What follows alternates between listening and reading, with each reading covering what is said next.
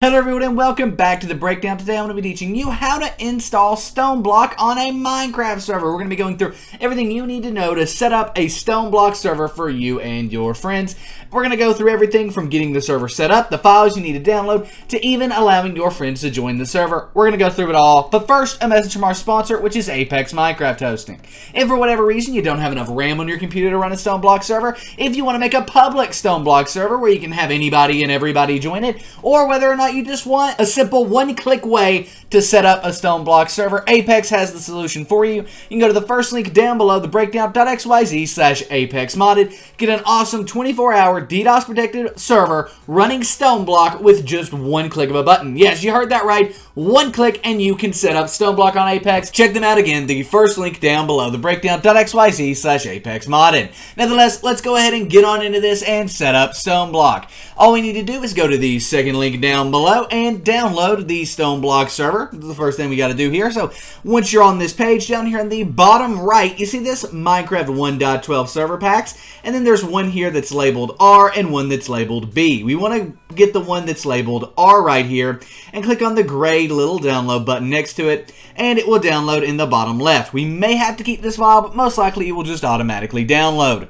While that's downloading, we also need to download the Twitch app because this is what we're going to use to set up and install Stoneblock. So to download the Twitch app, it's pretty easy. Just click on the uh, download button here. You can find a link to the Twitch app as the third link down below.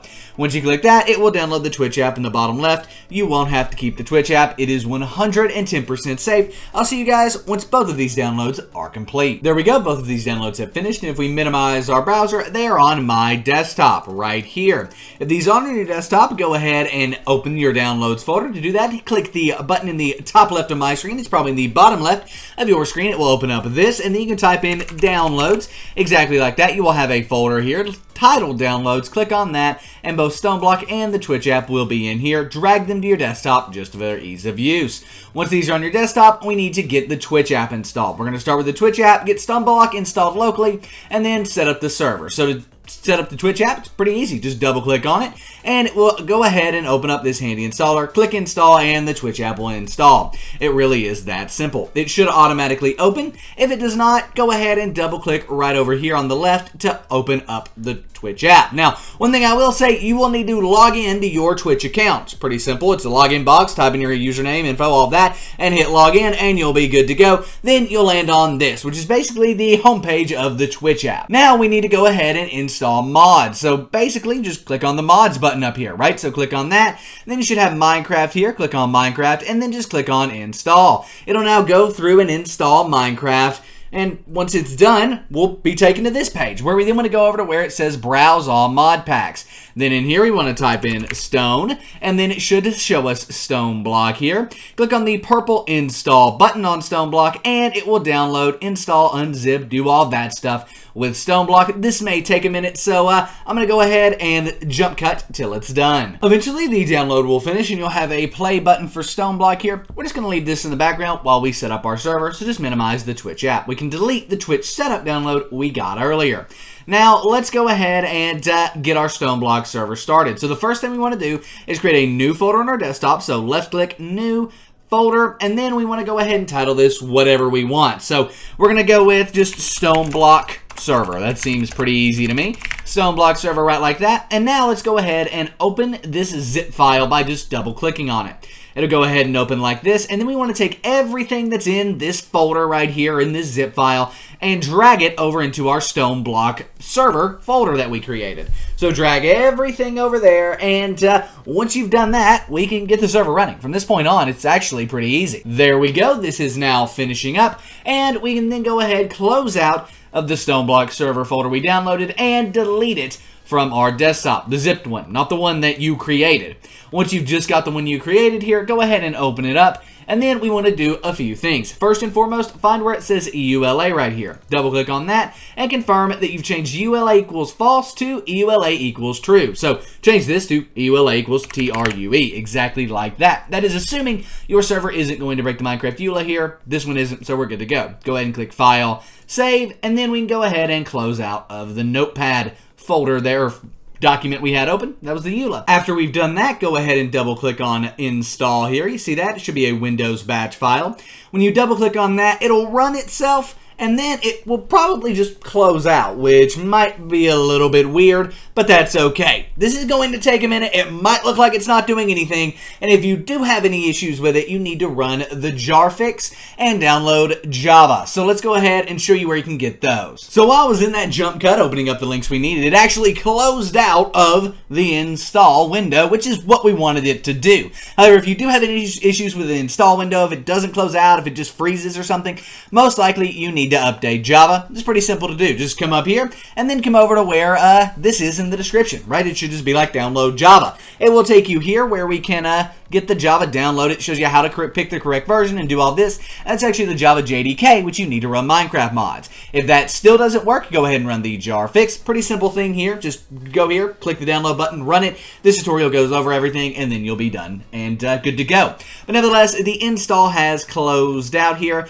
and now what we want to do is open up our server properties. You see this? So right click on it, and then just go ahead and edit right here. It should open up with uh, Notepad. However, this is a bit hard to read, so I would recommend getting a text editor like Notepad++, where I can right-click on this edit with Notepad++, and it's much easier to read and see. Notepad++ is 100% free, and you can check out the download in the description. But nevertheless, once we're here, we want to go ahead and make sure that the level type right here is equal to void world. You see that? If it doesn't say level type equal void world, that's fine. Go ahead and make it say that. Just go ahead and type void W-O-R-L-D, right like that. Once we've done that, we're not done in this folder. We we're not done in this file. We need to change server IP. Where do we find that? Well, we need to come up here to the top left for me. It's probably in the bottom left of your screen. Click on that little Windows icon there and then go ahead and type in CMD.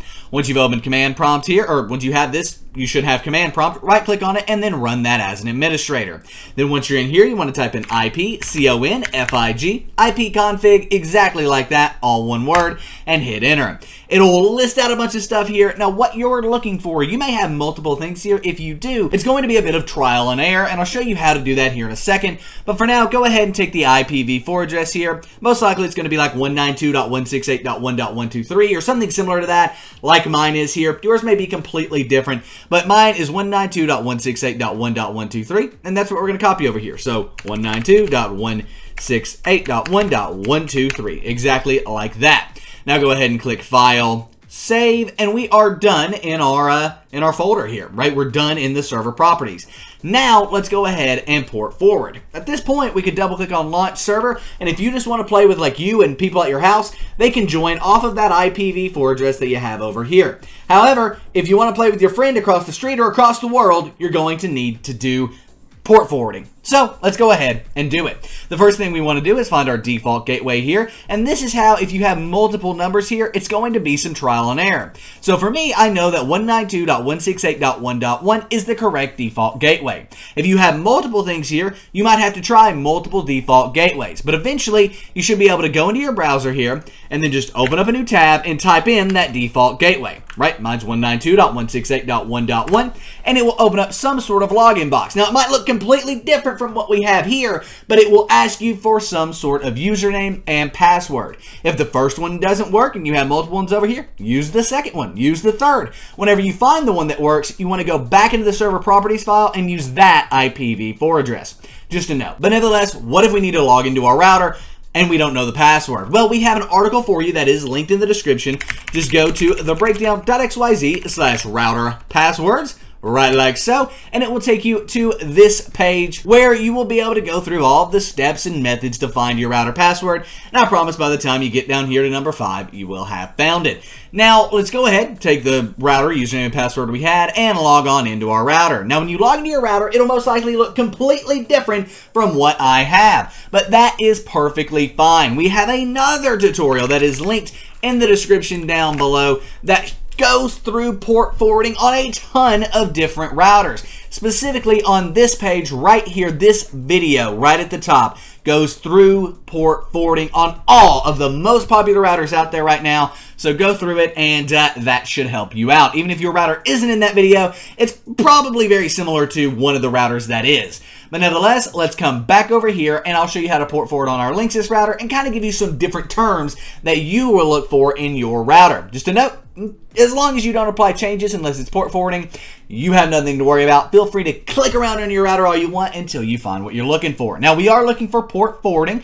On my router here, it is in security. For you, it might be in security. It might be in advanced, advanced. It might be in firewall. It might be in advanced, advanced, advanced. It might be called NAT gaming. It might be NAT security. But once you're in here, for me, it's in security and then it's in apps and gaming, right? Then I have to go to single port forwarding. For you, again, it might be NAT gaming, NAT forwarding, port forwarding, port forwarding slash port triggering, port triggering and port forwarding, whatever it is you're looking for port forwarding, that should have something along the lines of application name, ask you for a few different ports, have some sort of protocol, and have some sort of IP address. However, the IP address might just be called host or something like that. Went ahead and deleted that port forward that was there. Let's go ahead and add a new single port forward. You can name this whatever you want. I'm just going to name it Minecraft, but really you can name it whatever. For external port or anything at all, period, to do with port, you just want to put 25565 for your internal port. It's asking for a port. As I said, anything to do with a port, you put 25565. For your protocol, you want to do both, or you want to do TCP slash UDP, or UDP slash TCP. Whatever you do, make sure both are selected. For your device IP here, you want to put your IPv4 address, which if we come back over here to CMD, was 192.168.1.123, so .1.123. Now we can go ahead and click Save, click apply, and then click OK. The hard part of starting your server is done.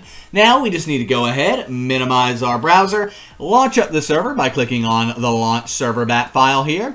Then we also want to go ahead and open up. If you get this, by the way, no worries. Windows Defender doesn't know what it's doing with this. It's just a lot of stuff to run at once. So go ahead, click on more info, and you can run anyway. I promise it's safe to run it. I'm running it here directly from their download site. So nevertheless, there we go. That is now running the server. It's pulling in the stuff that it needs. And we can go ahead and launch up Stoneblock from the Twitch app by clicking play here.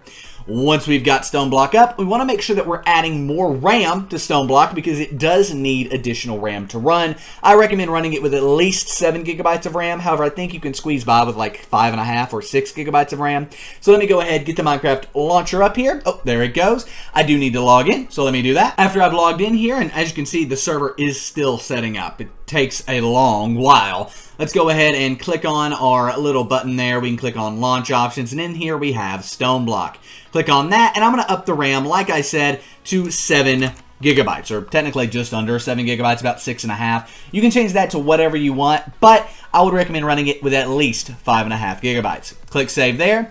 Back over to news, and I'm going to go ahead and launch up Stoneblock by selecting it and clicking play.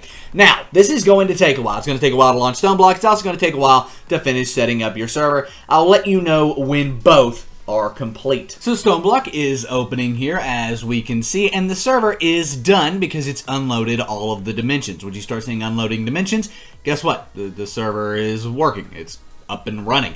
But there's one thing you will see here. Can't keep up. Did the system time change or is the server overloaded? Basically, that means you need to add more RAM to your server. As I said on the front end, if you don't have enough RAM, use Apex. This requires a ton of RAM. At least 5 gigabytes for Stoneblock, the uh, the game, right? 5.5 gigabytes of RAM, and at least that much for the server. So let's go ahead and stop the server by typing STOP in this like CMD window. Hit enter and it will go ahead, close out of that. Now, how do you add more RAM to this server? We'll come down here to where it says settings. See that? Right click on it and then go ahead and click on edit. Once this is open, you will see in here a max RAM value. See that where it says max RAM? Go ahead and change that to however much RAM you want. I have 32 gigs on this system, so I can upgrade this to 8 gigs of RAM. That may seem a little extreme, but once I join in as a player, it's going to eat even more RAM as the server, and 4 gigabytes wasn't enough just like running it with nobody in the game. So once you've done that, click File, Save, close out of this. Now we can run the server again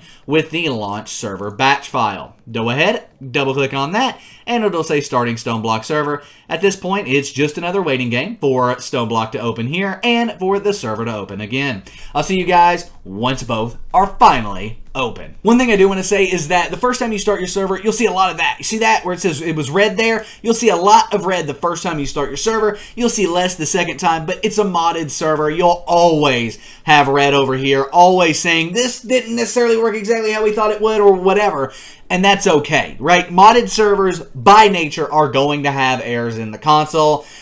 So don't freak out about it. It's no big deal if that happens. Just a word of warning. Don't think it's a big deal if there's like any errors or issues in your console. It just happens. And there we go. Finally, Stoneblock is open here on our desktop or well on our game, right? And then I accidentally closed out everything in the background. But if we go ahead, open up the server here, the server is unloaded dimensions. Now, as you can see, there's some less errors down here and we're not having that keep up issue anymore. That's because we added more RAM. So now let's go ahead and test join our server. Only you will be able to join your server this way, but it's a good way to test and make sure everything's running.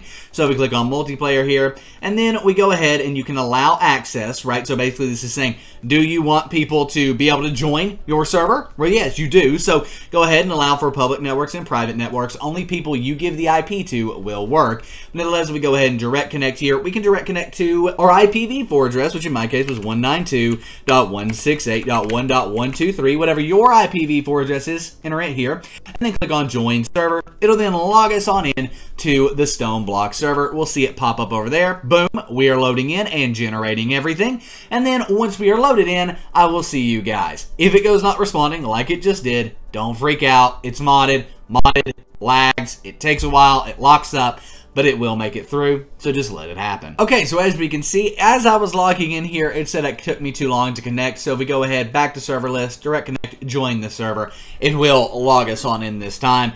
Don't worry if that happens. Again, modded comes with errors. That's what you need to remember. You're going to have to go through some issues. That's why running a Stoneblock server through someone like Apex is highly recommended over hosting one yourself because of this stuff. This stuff right here won't happen on Apex, but on second join, we get on in. And uh, this looks like Stoneblock to me. We can go ahead and left click, open up all of the quests, start a party, do all of that stuff. So um, yeah, that looks good. Nevertheless, what if we want to let our friends join? Well, if we go ahead and disconnect here, we can then get our public IP address. Now to do this, go to the uh, link in the description down below. It'll be what's my IP, and it will take you over to this. Now on this screen, there's a black box over my IP address, as well as the information over here. So go ahead and uh, just know the reason I'm blocking that is because I don't want you guys to have my public IP. Just like you shouldn't give this out to anybody and everybody. This is just a server for people you trust, your friends and family. If you you want a server for everybody, Apex Minecraft Hosting is the way to go for that. You can give that IP to everybody, but not this one. This one's only for people you trust. But nevertheless, let's go ahead and copy our IP address here. And by the way, this is all the information someone can get from your IP address. That's why it's blacked out. But if we go back over to Minecraft here and just use the game to cover uh, cover all of that in the background, we can direct connect, and this time we'll direct connect to our public IP address. We click join server, it'll launch us on in, and if we open up over here, we will see Nick's Games login. Boom, there it is.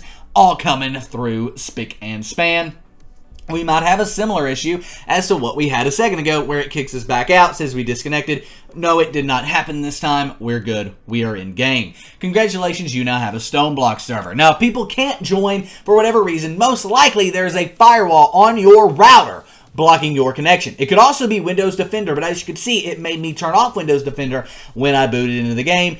But again, check your router. Your router is most likely where that firewall is.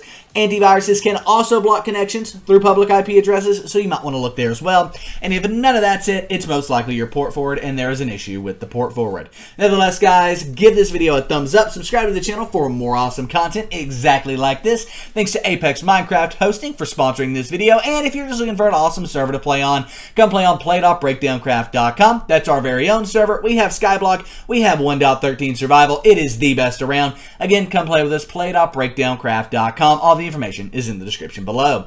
Nevertheless, guys, again, thumbs up, subscribe to the channel if you haven't already, and I'm out, guys. Peace.